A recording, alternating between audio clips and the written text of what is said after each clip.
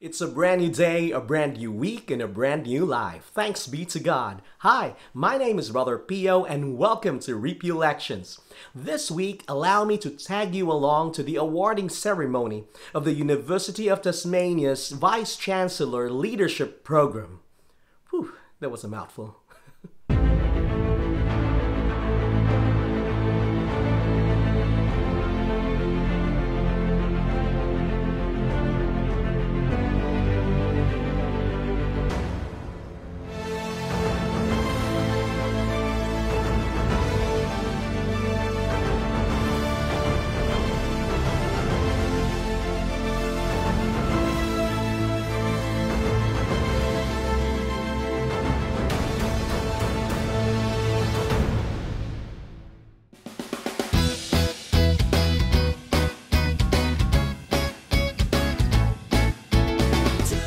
It is usually wonderful to celebrate the victories of our friends and families, especially in grand events wherein they are awarded and acknowledged by the public.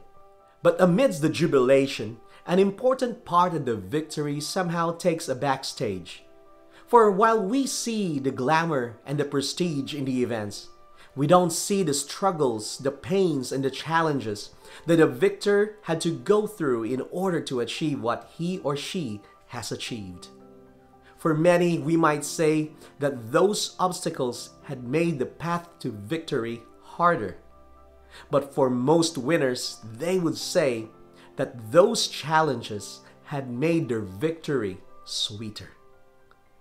Friends, we are getting closer to Christmas, and I believe many of us are excited to celebrate this joyful season with families and friends, sharing food, laughter, and games, songs, and dances and rightfully so, because we are not celebrating any ordinary celebration. We are celebrating God's great love for us, for He has given us His only begotten Son to be our Savior. But as we go through Christmas, let us also remember that while it is true that the angels sang glorious songs, and it was a silent night, holy night during Jesus' birth, and the world is joyful because of it, we can't also deny that part of the Christmas story are some challenges, some hardships, and even horrible events. For starters, perhaps Mary and Joseph were confused when they received the message of the angel telling them that they are going to be part of God's plan, which is out of this world. And then together they were challenged to find a place to lay and bear the child Jesus.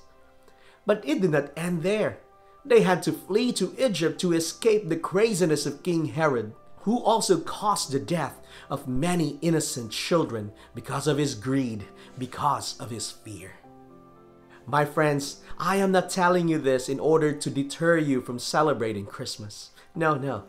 Instead, I'm sharing this with you, especially those who don't feel like celebrating Christmas at all. Perhaps you've lost a loved one in the past year or so. Or maybe you've lost your job, your business, or a valuable possession because of this pandemic.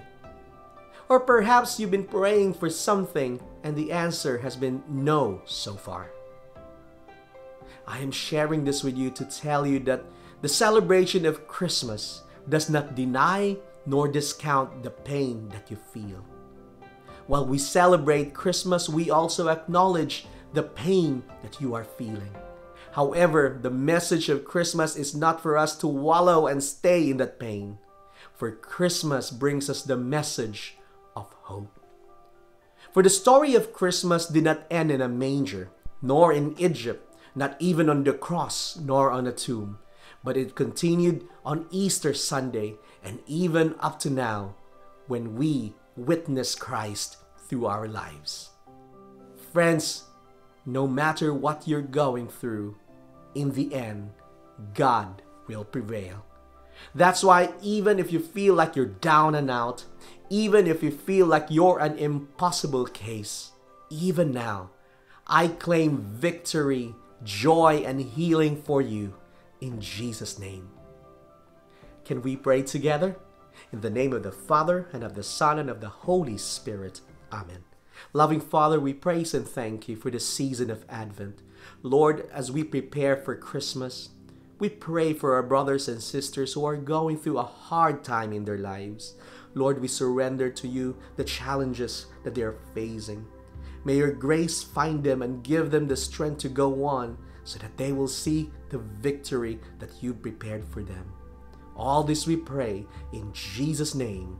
Amen. In the name of the Father, and of the Son, and of the Holy Spirit. Amen. Thank you so much for joining me this Monday. I pray that the weeks going to Christmas will be fruitful and meaningful for you. Take care and see you on the next Repiolections.